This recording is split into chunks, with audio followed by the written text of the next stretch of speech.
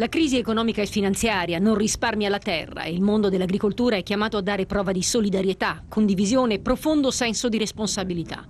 Il Papa riceve in udienza i partecipanti all'Assemblea nazionale Coldiretti e infonde coraggio nei coltivatori che negli ultimi anni hanno visto il loro reddito crollare.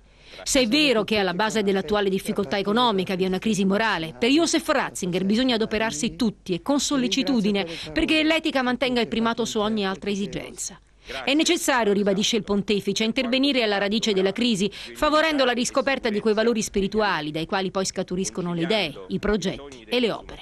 Ancora una volta, dunque, per il Papa, l'etica è la chiave di volta, soprattutto quando in gioco è il futuro delle nuove generazioni dalle attese cariche di propositi e speranze.